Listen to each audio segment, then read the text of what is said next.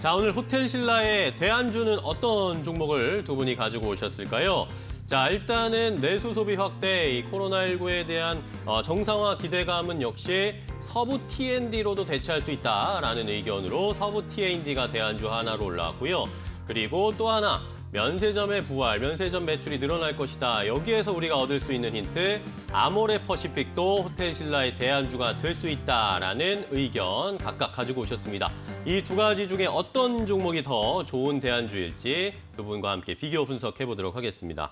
자, 일단은 처음으로 길건호 FC께서 가지고 오신 종목부터 볼까요? 어떤 거 가지고 오셨나요? 네, 저는 이제 화장품주 아모레 퍼시픽. 아, 아모레 퍼시픽이요? 네, 뭐 저번에 이제 ODM 관련해서 이제 코스맥스랑 음. 그때 대표님이 아마 연우 화장품 용기 제조업체를 그쵸, 그쵸. 얘기를 했었던 것 같은데 화장품 산업 자체가 좀 괜찮아지고 있는 것으로 보여지고 있어요. 그러니까 중국의 매출이나 이런 것들이 조금 살아나고 있는 모습들을 보이고 있는데 앞으로는 이제 여행 재개에 대한 얘기들이 계속 막 나오고 있거든요. 그렇게 그쵸. 된다라고 하면 면세점을 조금 주목을 해볼 필요가 음. 있을 것으로 예상이 되고 있는데 뭐 이제 직접적으로 면세점보다는 그래도 면세점 매출 회복으로 인해서 뭐 이득을 볼 수 있는 화장품 주가 어느 정도 대안이 되지 않을까라고 예상을 하고 있고요. 뭐 현재 본다라고 하면 가장 먼저 이제 소비가 살아나면서 수혜를 봤던 거는 이제 백화점 업종인 것 같아요. 그래서 1분기 그리고 뭐 지금 5월 달까지도 어 전, 전년 동기하면 거의 한 백화점의 매출이 한 20% 정도 선장, 성장을 하고 있어서 회복세에 뭐 안정적으로 들어섰다라고 예상이 되고 있고요.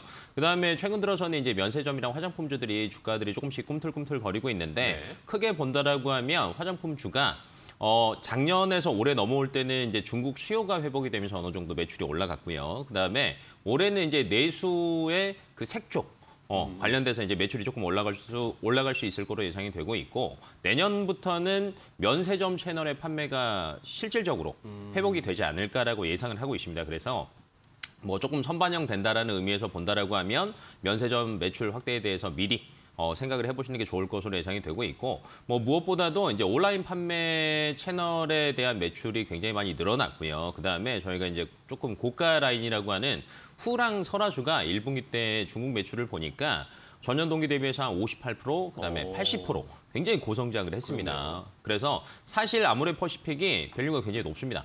가격도 높고 그다음에 5월 들어서면서부터 지금 거의 한 10% 정도 올랐죠. 이제 많이 올랐어요. 네. 그런데 여기에서 조금 더 갈 수 있을까라는 고민이 분명히 존재를 할 수도 있겠지만 음.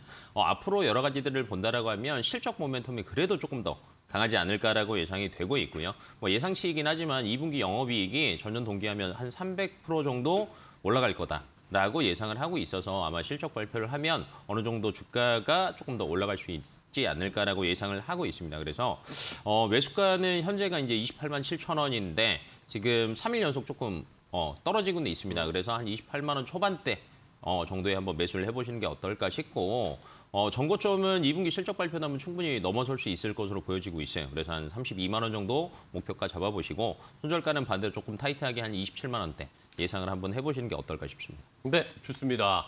자, 길건호 FC는 호텔 신라의 대안주로 어, 면세점 업계가 어쨌든 화랑을 보일 테니까 여기에서 면세점을 직접 사는 것보다 그 면세점 안에 들어가 있는 네. 업체, 화장품 중에서도 아모레 퍼시픽을 좀 살펴보자. 중국 쪽에서의 매출도 다시 잘 나오기 시작하고 있고 어, 앞으로에 대한 기대감, 주가 조금 올라온 경향이 있지만 추가적인 상승 모멘텀 충분하다라는 의견 길건호 FC의 픽은 아모레 퍼시픽이었고요. 자, 그럼 이번에는 김민수 대표님의 어, 픽이었습니다. 어떤 대안주를 가지고 오셨죠? 아까 서부 T&D였죠? 네, 어, 이왕이면 좀 덜 오른 내수 소비주를 보자라고 한점 어, 쪽에서 김민수 대표님이요?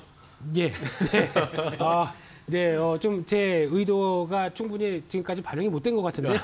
네, 어, 그래서 지금 생각보다 아, 내수 소비주 쪽인데 잘 가려진, 어, 잘 알려지지 않은 쪽이라고 보여지고 있는데. 어, 그런 쪽에서 서부 T&D 경방을 할까, 서부 오. T&D를 할까 싶었는데 경방은 일단 잠깐 말씀드리게 되면 타임스퀘어 아시죠? 영등포에. 네. 예, 그 운영을 하는 회사인데 어, 많이 힘들었겠죠. 어. 사람들이 안 오다 보니까. 근데 회복하기 시작한다라고 되면 이쪽도 괜찮을 것 같은데 음. 그래도 서부 T&D가 어, 최근에 움직이는 동향들이 더 낫다는 관점 쪽에서 이 회사도 쉽게 말씀드리면 T&D가 트럭 터미널입니다. 과거에 네. 서부 트럭 터미널이라는 회사가 어, 예, 화물 자동차 관련된 정류장이었었죠. 그쵸, 그쵸. 네. 어, 남부 트럭 터미널도 있고 어, 이 서부 트럭 터미널도 있고 우리 집 동네라서. 네, 축하드립니다. 네.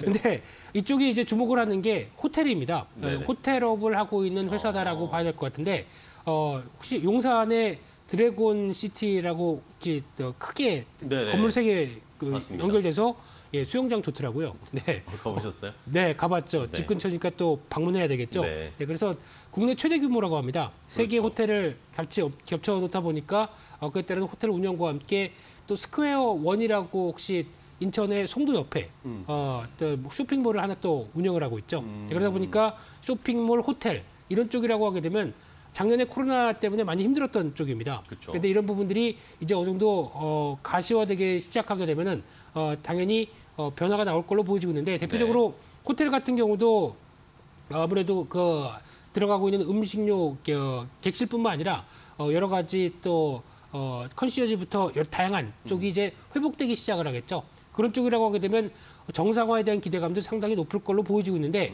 아직 어, 주가가 강하게 다른 종목들에 비해서 빠른 움직임이 좀 덜했다라고 하게 되면 잘 모르는 어, 분야 종목이 아닐까라는 관점 쪽에서 이런 변화가 나왔을 때는 한 단계 레벨업은 충분히 기대할 수 있겠다라고 바라보고 있고요. 네. 게다가 어, 실적 흐름들을 봤었을 땐 당연히 부진하죠. 어, 부진한데 그럼에도 개선 요인들이 충분히 많겠다는 부분들과 함께 재무 구조 나쁘지 않고요. 어. 어, 여전히 어, 그래도 충분하게 위험 관리를 했을 만한 여러 가지 사- 현금은 좀 충분히 있었다라는 쪽으로 보여지고 있는데 게다가 자산 가치 대비해서 PBR 0.7배 수준이라고 하게 되면 아직 그렇게 크게 비싸지 않다라는 쪽에서 한 번 더 level up은 시도할 수 있겠다는 관점 쪽에서 말씀을 좀 드리고 싶습니다. 네, 좋습니다. 서부 T&D 이야기를 해 주셨습니다. 서부 트럭 터미널 여러분 아시는 그 트럭 어, 정류장, 화물 자동차 정류장 이야기 여기에다가 플러스 호텔과 쇼핑몰까지 운영하고 있는 서부 T&D 내수 소비 확대에 우리가 좀 숨겨져 있는 종목이기 때문에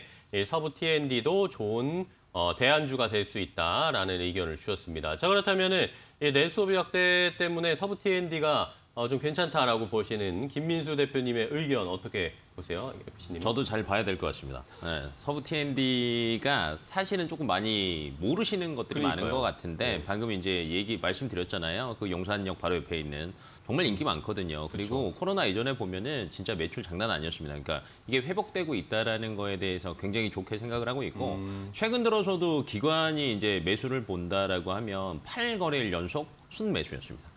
어, 그렇게 본다라는 거 자체가 앞으로 그래도 어느 정도 회복이 될 거고 내수 시장이 살아나게 되면 가장 뭐 직격탄을 기존에 맞았었는데 반대로 방, 좋은 방향으로 또 직격탄을 맞을 수도 있지 않을까라는 예상이 되고 있어서 어, 정말 괜찮은 종목이지 않을까 생각하고 있습니다. 네, 좋습니다. 서부 T&D 숨겨진 오늘 보석을 가지고 오신 느낌으로 역시 또 네, 김민수 대표님이 해주셨고 자 아모레퍼시픽은 어떻게 보세요, 김민수 대표님? 여기에다가 또 독서를 주실 건가요? 자, 아닙니다. 예, 저, 그러면 안 되죠.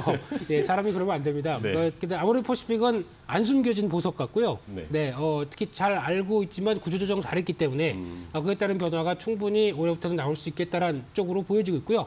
마찬가지로 아모레 퍼시픽 우선주도 괴리율이 높다 보니까 아. 어, 그쪽도 계속 관심을 가지시면서 지금 이제 거의 눌림목, 단기 눌림목 마무리가 아닐까라는 시점 쪽에서는 눈길이 가고 있습니다. 네, 좋습니다. 아모레퍼시픽도 어, 김민수 대표님도 역시 좋은 어, 찬스다. 지금 눌림목 나왔을 때 좀 매수를 하자라고 의견 주셨습니다. 자, 이렇게 오늘 호텔 신라의 대안주로 두 가지 알려드렸습니다. 아모레 퍼시픽과 서부 T&D 오늘 잘 흘러갈 수 있을지 여러분들도 매수 타이밍 잘 잡아보시기 바랍니다. 자, 그럼 이제 오늘 시장에 대한 전망 좀 체크를 해보겠습니다. 일단 오늘 뭐 뉴욕 시장이 열리지가 않아가지고 방향타는 뭐 크게 나오지 않고 우리 모멘텀으로 시작을 해야 되는데 김민수 대표님부터 짧게 한마디 부탁드리겠습니다. 네, 어, 6월 첫날입니다. 네. 어, 하반기 시작인데 어, 그런 관점 쪽에서 외국인들에 대한 변화가 그래도 좀 더 우호적으로 나오는지 부분 체크해야 될 것 같고요. 네. 어, 3,200선 위로 또 강하게 가기도 좀 힘든 여러 가지 변수가 있기 때문에 아마 섹터 중심, 종목 중심으로 또 빠르게 움직이는 하루가 되지 않을까 생각되고 있습니다. 네. 자, 오늘도 분주하게 섹터 종목별 대응을 잘 해보자라는 의견 주셨고요. 길건 FC는요? 네, 오늘 이제 5월 수출입 동향을 발표를 하는데 아, 그렇죠. 뭐 수출 실적 자체가 굉장히 이제 좋아지고는 있습니다. 이제 그 중에서도 이제 자동차 실적이 어느 정도 굉장히 좋게 나올 것으로 예상이 되고 있는데 무엇보다도 이제 미주 쪽이나 뭐 해외 관련해서 수출이 많이 늘어났다는 점이 눈으로 조금 확인을 하는 게 조금 필요할 것 같고요. 그다음에 보복 소비나 이제 뭐 미국 자체가 내수 시장이 이미 회복되고 있다라는 시그널들이 많이 나오고 있잖아요. 네. 뭐 그렇다라고 보면 이제 자동차 완성차 업체들의 주가가 너무 오래 누워 있긴 했습니다. 최근 들어서 이제 조금 올라가려고 하는 방향성이 보이고 있어서 이 수출입 동향 뭐 결과 발표에 따라서 뭐 실질적으로 뭔가가 눈에 보인다라고 하면 좋은 방향성으로 가지 않을까라고 생각하고 있습니다. 네, 좋습니다. 자, 오늘 발표되는 수출입 동향, 5월 수출입 동향을 잘 살펴보자라는 의견 주셨습니다. 오늘 레몬 리서치의 김민수 대표 그리고 한국투자증권 서초중앙 PB센터의 길건호 FC와 함께했습니다. 오늘 또 좋은 종목, 좋은 이야기 들려주셔서 감사합니다. 고맙습니다.